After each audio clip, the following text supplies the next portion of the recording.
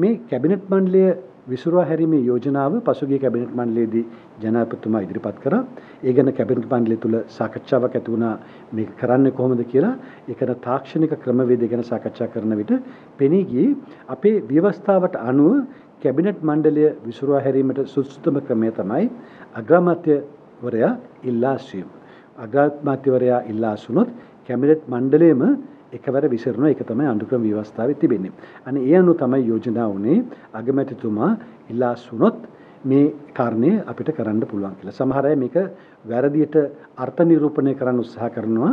ජනාධිපතිතුමා අග්‍රාමාත්‍යතුමාව ඉවත් කරන්නට යෝජනා කරා කියලා. ඒක නෙවෙයි ඇත්ත වශයෙන්ම සිද්ධ වුණේ. සමස්ත කැබිනට් මණ්ඩලයම ඉල්ලාස්වීම සඳහා අවශ්‍ය කරන ව්‍යවස්ථාපිත ක්‍රමවේදයේ වශයෙන් තමයි අග්‍රාමාත්‍යතුමා ඉල්ලාස් වෙන්න ඕන කියලා කැබිනට් මණ්ඩලයේදී සාකච්ඡා වුණේ.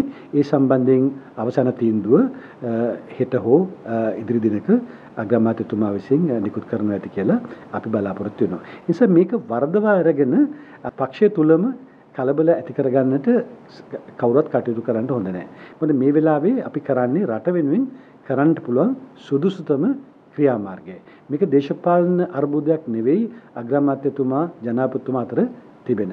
කැබිනට් මණ්ඩලය විසුරුවා හැරියොත් ඊට පස්සේ ජනාධිපතිතුමාට පුළුවන් ආණ්ඩුව පිහිටවන්න කැමති පක්ෂවල කණ්ඩායම් එකතු කරගෙන අග්‍රාමාත්‍ය කෙනෙක් පත් කරගන්නට. ඒක අග්‍රාමාත්‍යවරයා කවුද කියලා අපි තාම දන්නේ නැහැ. ඒක ජනාධිපතිතුමා විසින් තීරණය කරන්න ඕනේ. මොකද අපේ ව්‍යවස්ථාවේ ඉතාමත් පැහැදිලිව තිබෙනවා ජනාධිපතිතුමා විසින් පාර්ලිමේන්තුවේ උපරිම විශ්වාසය තිබෙනවා යයි සිතන ජනාධිපතිතුමාට හැඟෙන ආකාරයට ජනපතිතුමා එසේ විශ්වාස කරන කෙනෙක්ව අග්‍රාමාත්‍යවරයා වශයෙන් පත් කරන්න ඕන කියලා ඒ සඳහා ඡන්ද විමසීමක්වත් මොකක්වත් අවශ්‍ය වෙන්නේ නැහැ. ඒක අවසානයේදී ජනාධිපතිතුමාගේ තීන්දුව